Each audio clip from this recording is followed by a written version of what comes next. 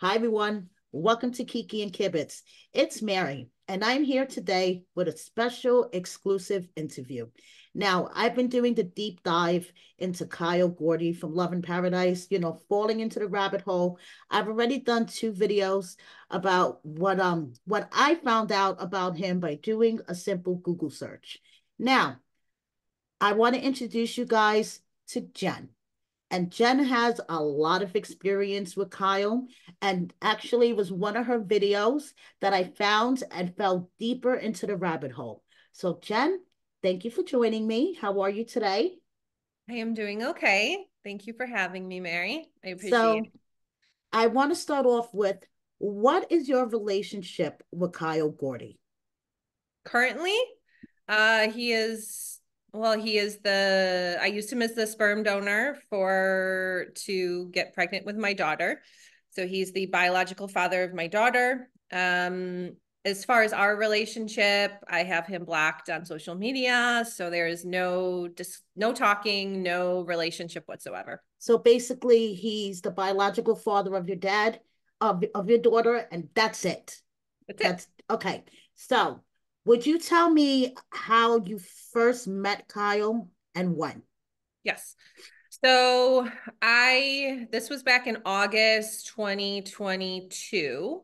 Okay. Um, I had just turned 40 that previous May. I was um, you know, looking into potentially using a sperm donor. I didn't like the idea of using a sperm bank. I had listened to some donor conceived perspectives. They all say use a known donor.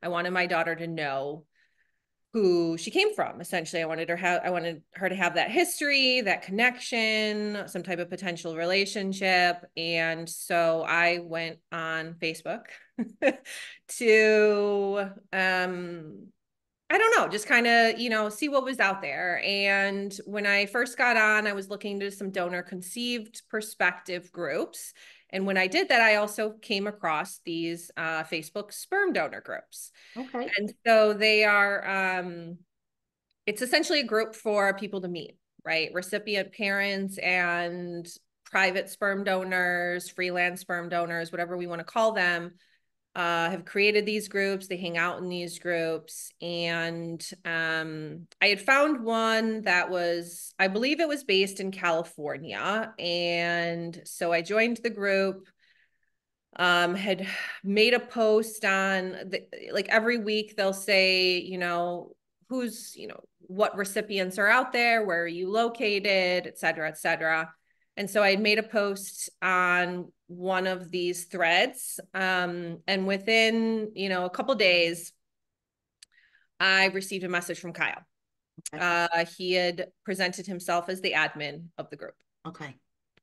Okay. So how, what, what were some of the qualities that attracted you to Kyle initially? oh, his excitement. Okay. The so for me it was um you know he came in and he was kind of like you know he was goofy. He had this kind of like weird goofy energy and and I was you know excited about this potential and just kind of in a happy go lucky type playful mood. Okay. Um, and so it's just entertaining it, right? Entertaining him. He sent me some pictures of his donor conceived children, um, cute kids. Uh, and so I was like, okay, Kyle, let's let's see what's here, you know? Right. So he was uh, kind of selling himself to you. He was selling himself 100%. Right. right. Yeah. Right. So how long did you communicate with him before you met him in person? So we had three video calls. Okay. Um, and we were communicating also through Facebook Messenger for a couple weeks, I would okay. say. He was in the UK at the time. Um, so the plan was when he got back to the Los Angeles area, we were going to meet and we were actually going to do some German show. Some German film crew was going to come out, film him, do some of filming him doing some of his donations or like, you know, whatever he does. Right. And so what we had talked about was that we were going to meet in Santa Monica at the pier, and we were going to be filmed essentially, like our first meeting. Oh, okay. Um, now we had you know, very early on in our discussion, I had opened up to him about, you know, the fact that yes, I'm doing this single mom by choice. You know, I, I already was a single mom. I have a 12 year old son. Um, I turned 40, relationships weren't working out. And so this was essentially what I wanted to do. Um, I said, in the grand scheme of things, I'm looking for a partner, you know, a life partner, just sharing that, being transparent with him, obviously, since he's going to be donating um, his sperm to me. And uh, he immediately latched on to that and said, Well, I'm looking for a life partner too. So that was an opening for this potential relationship, you know, maybe moving beyond just the sperm donor recipient type relationship. Right. Okay. So once you met him in person, how long was it before conception? Oh, a couple weeks. So okay. we met um just before I had started like it was at the end of my cycle. That's how I remember it. So at the end of my cycle and um it was meant to just be like a exploration of our connection, I guess you could say, and see what was there. Okay. So um for my viewers that are that don't have knowledge on this because I did a deep dive. So I know what's the difference between yeah. a sperm bank and going the private sperm sperm donor way. So um, going through a sperm bank, you're going to pay a lot of money uh, for vials of sperm. Now, I am not the expert on sperm bank protocols or anything like that, but I have learned a lot over the last couple of years. Um, so you know, at Sperm Bank, you're you're going to get the vials. You're going to look through a bunch of different donor profiles. Some of them have pictures, some of them don't. Most of them are childhood pictures, right? So you don't see the adult pictures. Um, they'll have like a health history, information about you know height, weight, right? All those uh, characteristics. A little bit about what they do, you know, athletic build, or they're an engineer, or whatever it may be. Um, and then you look through those these profiles and essentially you pick, you know, which donor you want to use. Then you order up the vial of sperm. Um, you can get it shipped right directly to you. Um, you know, you can also go through a fertility clinic. You can do IUI, you can do IVF, right? Whatever kind of method you want to use. Right. Now, when it comes to private donors, um, there is a community out there. There's there's many apps. There's like uh, Just a Baby app. Um, what was the other one that I was looking at? Pollen Tree. That's another one. Um, that's more of a website like matching um, type thing, and and then there's all these Facebook groups, right? Um, so lots of room for a lot of different things within the private donor world. Now, what happens is usually you know, you can post in these groups, you can say where your location, you can um, share a little bit of details about what you're looking for if you're a recipient parent. Um, also, sperm, you know, the donors themselves can go ahead and post as well. You get a lot of nasty, weird messages from weirdos, scams, shipping scams, all these different things. Um, And uh, there are, there's kind of like this um, uh, regime of like these donor these top donors that are called serial sperm donors and they all have you know 40 50 60 plus kids um and they do this a lot. Right. Like kyle. So when it comes to a private sperm donor how does a recipient uh, guarantee that she's um, dealing with someone that has a good health history, a good genetic yeah. history. Yeah how would you guarantee that? Um, like, you so, know, with the sperm bank, at least you know you know that they did all of those tests. So how well, would you actually? There's um, so the fertility industry is not regulated. I don't oh, know okay. if you know. It is okay. not regulated. Okay. So um, there's a lot of loopholes within even the fertility industry itself. Okay. Um, they don't test the way you may think that they do. Um, there are documentaries and stories out there about you know people um, donating who have a really intense uh, mental health history kids show up with some of these issues et cetera et cetera so i'm right. sharing that number one right. number two i mean there is there is ways that you can go about within the private donor worlds you know you can ask for genetic tests there are some good ethical private donors out there who provide this for their for their recipients. Um, they already have them. They know what recessive genes they have that may be an issue. They're honest. They they, they disclose it. Um, right. STD tests are pretty common. Um, like Kyle had had an STD test recently. I knew he did. Um, unfortunately, at the time, I and a lot of this was based on me just not knowing a lot of things and kind of being new in this space, um, as well as the way Kyle would kind of present himself or portray himself. Um, I didn't ask for an STD test right off the bat. I did get it later, but I knew he had had one for like whoever he was donating to at that time, and there was nobody else in that space, et cetera, et cetera. Right, right.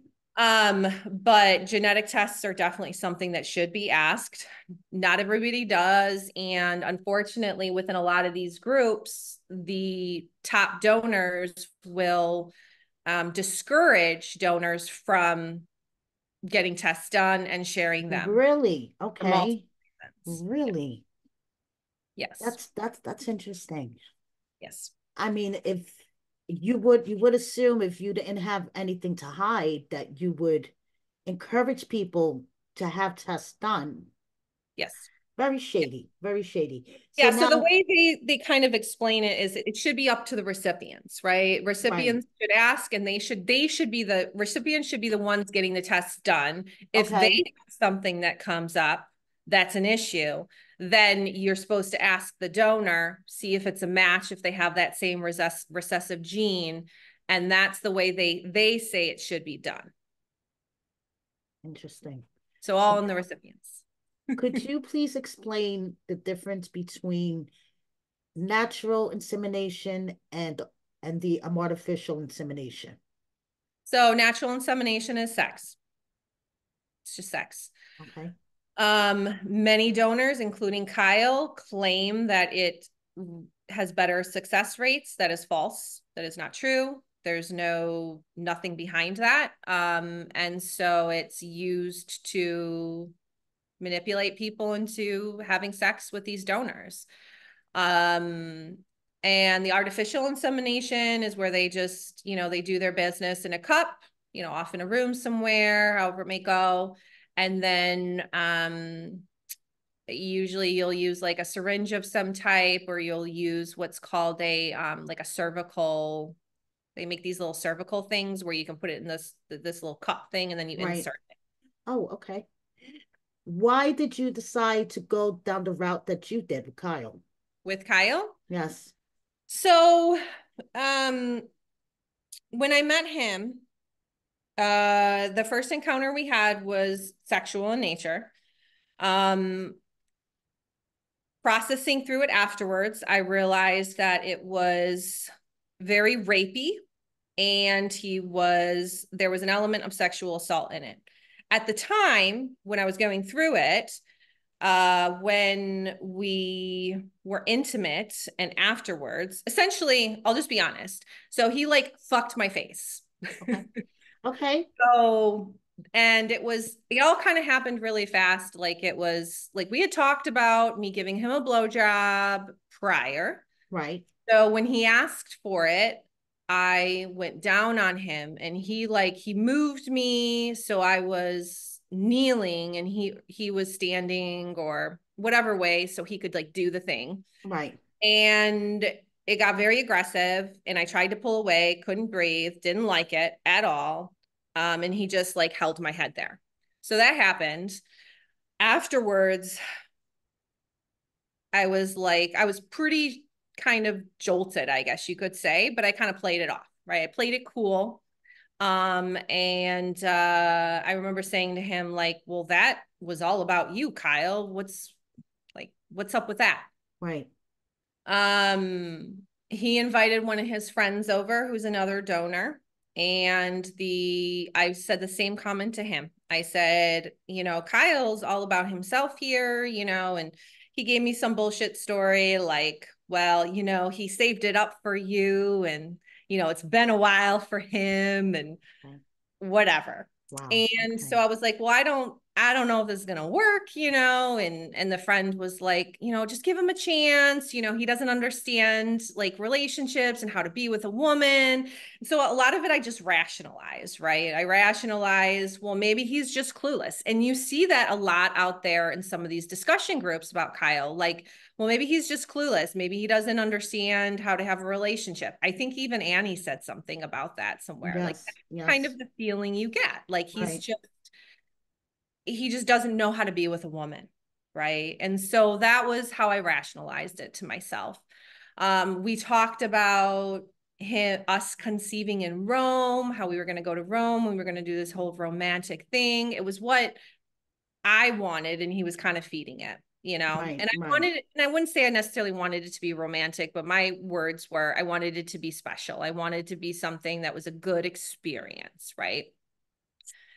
Now my I was about ready to jump out of my skin, right? My gut, my red, like a lot of things were going off internally, and I was kind of just, you know, ignoring them. One of my questions was going to be Did you see, looking back now, did you see any red flags? They were everywhere. Right. were everywhere. but you have to understand, like, when you when you want a baby, like that desire overrides so much of everything. Even with when it comes to you look at women who go through these crazy fertility treatments right? It's yes. like this desire is it's just so strong that you is overpowering. It's overpowering. You hear your clock ticking so loudly it yes. kind of like yes. And he's so overtakes he's common sense. Yeah. He's banking on that and he knows that right? Yeah. And so in the back of my head i was saying well at least I, you know, I'm going to have a baby out of this. I'm going to get my baby out of this, and I'm going to, um, and you know, and he's got good, healthy sperm because that's, and a lot of it also was he was very out there in the media. Um, at the time, he was. I don't know if you have heard of or you saw the Sperm World documentary, but there's yes, a documentary. Yes. Mm-hmm. And so he was in the midst of filming it at that time. Okay. And I um and and so that was a little bit of the attraction as well. He's doing this real legitimate documentary that's right. going on Hulu right.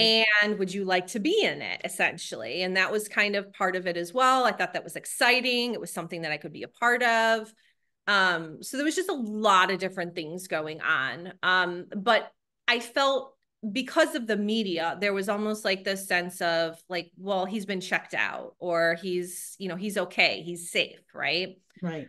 Um and he's always also talking about his super sperm and how he eats healthy and he takes all these vitamins and you know et cetera et cetera. So it i thought that i was getting good healthy sperm maybe from a weird guy at the very least you know and right.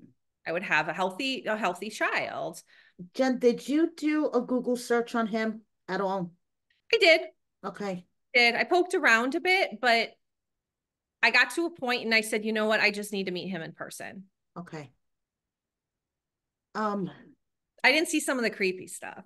Yeah, I was gonna ask, did you see like the creepy stuff? Because not I... that one Vice one. I wish I would have seen the Vice one. Oh my goodness! I have my daughter, so everything. Yeah, right, I am, right. I'm ecstatic about my child. Like I love my daughter. This doesn't taint anything. So it's just he needs to be stopped.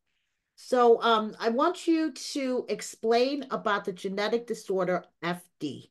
Yeah. So come to find out after I had conceived, um, and I had seen those uh very horrendous text messages, uh, him talking about the black woman. That was that was what woke me up confronted him about it said, What is this? This is disgusting. And he says it was fake. I'm like, bullshit. So I, at the time, I remembered back to our conversation, my conversations with Kyle, and he had said that there was some woman in New Ze- Zealand that was trying to bring him down. That was a troll. Okay. I didn't know much else, but he was obsessed with stopping her. So after I kind of woke up, realized all these things, I was like, I got to find this woman. So I, you know, I put the word out. It's it's it's not a very big community. People stay in connection. Yes. Yes. So um got a hold of the woman mm-hmm. and Taryn, who was in the video with me. Yep. hmm and she uh she alerted me to the fact that he had a recessive genetic condition mutation uh variant is what they call it a genetic variant of familial dysautonomia. Now that we we can also call it fd so fd uh, is a very serious um, you will find it within ashkenazi jewish populations. Um, it's uh, essentially like messes with the central nervous system. From what i've gathered it kind of occurs on the spectrum. Okay. um, but his 23andme reports clearly spell out that he has this variant of this genetic condition um, we have screenshots of him speaking to a um, a woman, another profile, essentially sending screenshots of his 23andMe that are doctored and that do not include the FD portion. Um, we also have evidence that he has admitted to having this condition. Okay. okay. And that he will not disclose it. He doesn't feel he has to. And he doesn't care, essentially, about it in any way. He doesn't feel he, ha- Right. he has any obligation to disclose. How did Taryn get the info that that he has this? So he she posed as a recipient. Okay. That's one way. Right. Um, and the other way was a conversation between Kyle and another donor. And uh, he discloses it there. And we also have another conversation that he has with another recipient where she confronts him right. and he essentially admits to it. Wow. Okay. Um. Now, did you have your child tested to make sure everything was okay? Um, I'm not going to answer that. Okay. I want to bring her health information. You don't it. have to. You don't Thank you. have to. That's fine. Um, now, in your video, and this is where I was like, whoa, you mentioned that Kyle was guilty of rape by deception. Can you Um, explain this for my viewers that may have Yes. never heard this be this term before and are like, whoa, like I was? So um I can't claim that he is guilty rape by deception because obviously a court would have to right, he would have to go to he would go to jail. Right. But from a conversation I had with a legal person, Right. um somebody who knows the law, Right. that would his actions would fall under rape by deception right so the it, it would be similar to a um person who would have hiv let's say or an std knowingly Right. and then have sex with a person um that is considered rape by deception so i was advised that this could be a potential legal avenue to pursue Right. um i also prior to speaking with this uh legal person i also myself so after i started to reflect upon our interactions and the the power and the control and the manipulation and the coercion and all of that that was happening i was like this was very rapey those were the words i had this feels rapey but i couldn't like it's it wasn't like it was this black and white like easy to say oh yeah Right. rape, you know, There was a lot of gray. Yeah. there was a lot of gray, but it, I could feel it right in your gut. You can Right. feel. it. And so I started to look up like rape laws and and I actually found I, I I myself had also looked up the rape by deception. And so when I looked up and I found that law because it's a California law, that is when I went to the police station to um file a police report on it. What would you say to someone listening to this, thinking, oh, she's just a woman scorned. She caught feelings for Kyle, and when Kyle didn't return them, you know, she's just doing this because she's a woman scorned. What would you say to that person thinking that? if somebody, honestly, I would just like buy, like, right. ignore them because I don't even, for me to engage in that type of discussion, like for somebody to be in that type of mindset means that they have not done their work, essentially. They are not aware of how um power and control dynamics work, right? Sorry, my phone's about ready. No, don't worry. um, so I probably wouldn't even speak to them, but um, I can say this. I can say that and I know Kyle is out there and he claims that I'm just upset because the relationship didn't work out. That's always what he's saying. Uh, him and I were never in a relationship, right? We were exploring the potential of a relationship that just was, like he's doing now on on Love and Paradise, just like he's doing with Annie. Yes, right. exact same thing. Now, I will throw this in there.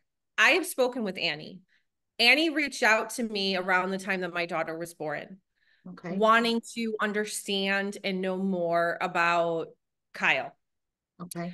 I shared a lot with her, but unfortunately, and I don't blame her or shame her in any way because all I feel is immense compassion for her and what she's going through. But I will say that Kyle did what Kyle does best and he manipulated and gaslit, right? And created some story that makes me look like the crazy one. Right. Right. Right. And I don't know what I'm talking about. So um I would just say that he's out of his goddamn mind. I don't, I don't know. It's like we because I, that's something that he was trying to portray on TV that you know he has a couple of women that he donated to that caught feelings for me. You know, there so were no, there were no feelings. There was the exploration of that potential. The way I ended it, um, and this was before I saw those nasty screenshots because I had ended the relationship prior to this. Okay. We want to call it that. I had right. ended the potential for that relationship to grow into anything. Right. And the reason was is because when I would when I found out I was pregnant, um number 1 he told he essentially started to kind of gaslight me in the sense of oh it's too early to tell um why are you like because I wanted to use a midwife why are you talking with a midwife? It's still too early. Um and I had asked him well can you come down here for you know to do birth classes? Because that was part of like our arrangement. Right okay. Was that he was going to be present throughout pregnancy come to the birth be available postpartum now, he is incapable of any type of commitment, having any type of healthy, loving, caring relationship with another person, let alone another woman, a woman. And I recognized those red flags pretty quickly that he was not going to show up the way that I had wanted a man to. Right. Let's, and he showed way, up to get pregnant. You guys agreed. I mean, you guys kind of had an agreement. Yes, this yeah. is what we had talked about. We had right. talked about creating a family. Mm-hmm. And we had talked about him stopping donating, right? All the things that Annie, all those things, right? Right. Because no woman really wants their man going out and having sex with a bunch of women, women. So oh. Of um, course so not. I mean, just like Kyle wouldn't like her having sex with a bunch of men. I mean, yes, Yes, right. I'm sure that wouldn't give her any points. No, no. I mean, she would be negative a thousand points if she did Yes. that, you know? Yes. So yeah, I just knew I just knew it wasn't going to happen and I was happy. I had my, you know, I was pregnant, I had my daughter. I hadn't found out about any of this other stuff yet. I hadn't really processed through all the details yet. And so I'd said to him, "Let's just be friends." Right? Um and he said, "Okay." Right? And we left it at that. Uh and then everything just kind of spiraled out from there. Have you received backlash for speaking out? A lot. I have filed a so they have created a face fake Facebook page Okay. um, with my picture on it and my name and releasing pre personal information on it. Yes, doxing. They doxed me, Yeah, yeah. and um, I have been unable to remove it. I have spoken with police. They claim it's a civil matter. Yep. So I have I have received and and and I also receive a lot of third party harassment. So people who reach out um maybe asking me some questions and then negating my story. Victim blaming. Oh yeah. Lots of victim blaming, shaming, all the things. When was the last time you spoke with Kyle directly? Um when I was about 2 weeks pregnant, Okay. maybe a month, something like that. Um, if you could give advice to a woman seeking a private donor, what would you say? Take your time. Don't rush into it because that's how they get you. Um, come to me if you need some help. Um, do video calls. Meet them in person. Ask for genetic tests. Demand it. You're not going to work with them if they don't get it. STD tests are a must. Um, and you know, really get to know that person. What is their character like? Um, any red flags? It's a no automatically. Listen to your gut, To your right? gut. Yes. Yes. Listen to your gut. Slow it down. There are a lot of them out there, and there are some good ones. There are some some that I would, if I was given a second chance, I would have definitely considered working with. So, um, you know, a- another super safe option is to take them with you to a fertility clinic. It does cost money. Um, that's another option. And lastly, uh, do your legal work, right? Don't do NI because NI constitutes the the laws change when it comes to NI. So do AI and check the laws in your state, have a get some type of legal paperwork, some type of agreement in place. Um, if you can work with a lawyer directly, but you definitely want to have um that because a lot of these um these bad bad guys right the bad donors they will uh use that fear to retain that power and control and and keep a woman silent a recipient silent from speaking out and sharing their story oh i'm going to take your child away from you. Kyle's done that with me through third parties. I've heard multiple times that if i ever file for um, child support that he would fight for custody and and that he would and people will ask him like well how are you going to take care of her and he's like oh well one of my other recipient moms will take care of the child the child right the The child, child. Yes, the child. um so he's very sick very twisted um and some of these other guys are as well we've found you know criminal histories on some of these donors child molestation charges things like that Wow. yep. do a criminal history check as well that's another one Do your research. Do your research. Take your time. yes My last question for you, Jen, before I let you go. If you could go back and give yourself some piece of advice, I know you're happy having your daughter here, but dealing with Kyle, what would you tell yourself?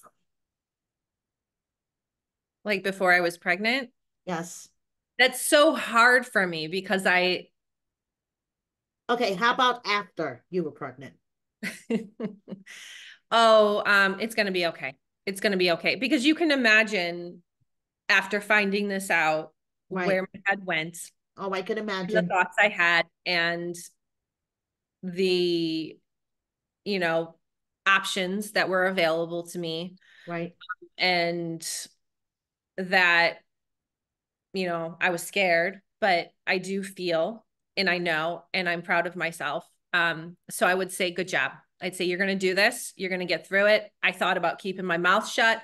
I thought about, you know, just walking away. I have right. my baby. I don't need to deal with this. Um, and instead I chose to speak out. And so I would say keep going.